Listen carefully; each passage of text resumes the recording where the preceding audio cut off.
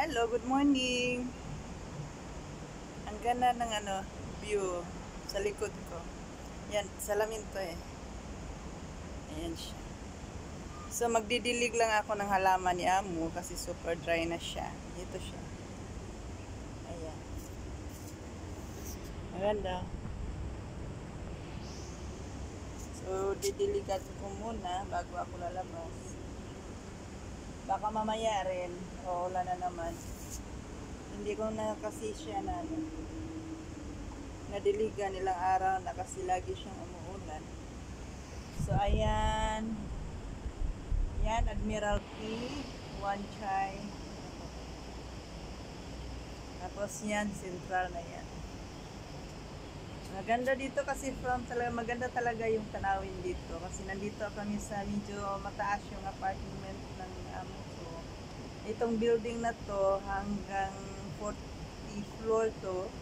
So, nasa 22 floor kami. So, makikita ko talaga kung ano yung mga magagandang view dito sa Hong Kong. Ayan.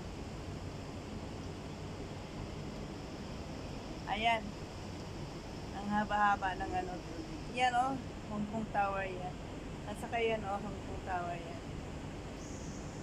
So, ayan guys. So, hindi na ako mag ano, ah, ano bang tawag dito?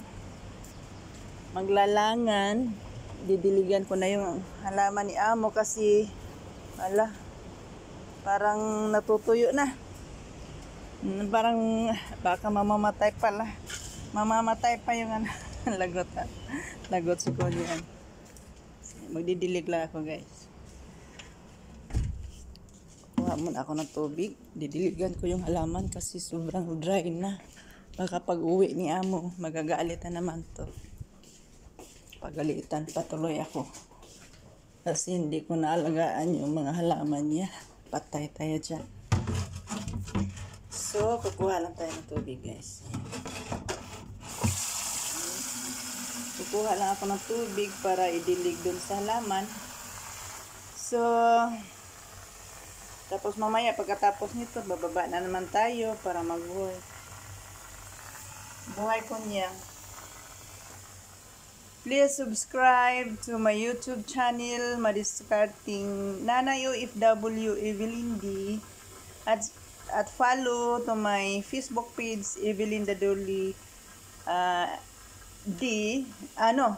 Evelyn Daduli Vlog. Thank you for watching and God bless. Bye-bye.